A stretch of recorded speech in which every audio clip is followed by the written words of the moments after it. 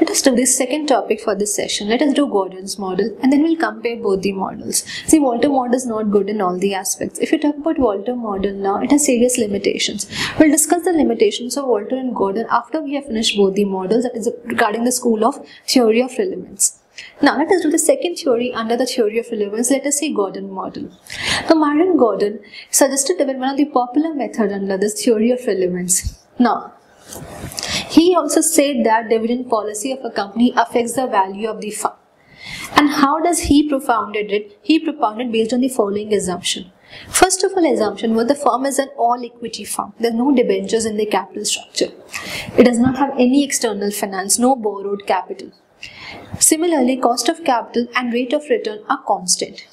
The firm has a long life. There are no taxes. Similarly, retention ratio, that is a retained earning ratio, is constant. Similarly, cost of capital is greater than your growth rate. Certain assumptions you need to keep in mind under Gordon model. So how do you compute under Gordon model? You find the price of a share is earnings per share into 1 minus B. B stands for dividend payout ratio. So 1 minus dividend payout ratio gives you what? Retained earnings ratio. So in short you can say earnings per share into retained earning ratio. Divide the full equation with your cost of equity that is capital capitalization rate minus growth rate into rate of return. So keep in mind what you have to do. So when you're finding the price of a share, we take into account various things. In the numerator, we focus on the earnings per share and your Retained earning ratio. Retained earning ratio, how do you find 1 minus B? B stands for dividend payout ratio. Divide the full equation with your capitalization rate, that is your cost of capital or cost of equity, because you're assuming over here the firm is an all equity firm. Minus with your B into R. B stands for your dividend payout ratio. R is the rate of return. This is how you'd find out the price of a share or the value of a share under Gordon model. Let us do a small illustration to make it more clear how do you do it under Gordon model. Now, given as the illustration, rate of return on investment given to us is 15%. Cost of capital is 12%. EPS is 10. Dividend payout ratio is 80%.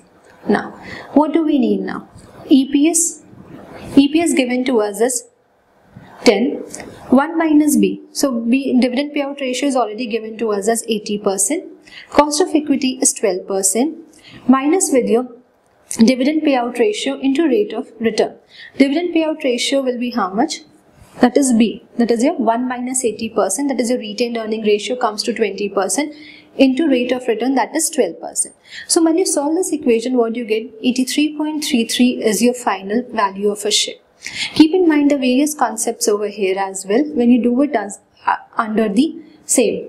Now keep in account what do we take into account is the earnings per share which is given to us as 10 1 minus b. 1 minus b stands for your retention ratio. So 1 minus b. So 1 minus b gives you dividend payout ratio. So dividend payout ratio is already given to us as 80 percent.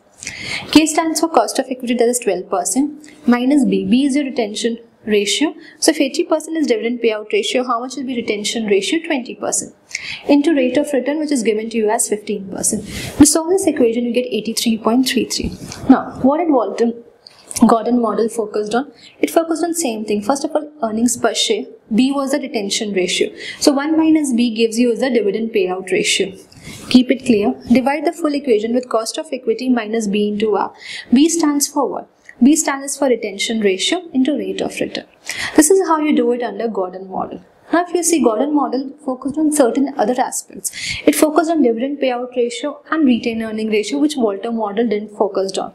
Each of them had their own theory when they focus on how the value of the share is maximized. But if you still if you see the several criticisms for the Gordon model as well. Similarly, major limitation of Gordon model as you can see, it assumes it's an all equity firm. There are no debentures and as only equity finance is used. Similarly, present day business is not practically viable. Similarly, other limitation of this that normal assumption was cost of equity and rate of return are to be constant. As you can see, practically it's not possible and practically a firm has to pay taxes. We can't assume there are no taxes. There are various criticisms of Gordon model. But Gordon model actually focuses on dividend payout ratio and retention ratio. Previously what it was Walter model and Walter model you can also say is not a complete method. It also suffers from various drawbacks. Similarly, and one of the major limitation over there was that it assumed there is no external finance used by the firm. Similarly, it is not practically applicable there as well. Similarly, it assumes constant return same. It is not practically possible. Return may increase or decrease depending upon the business situation.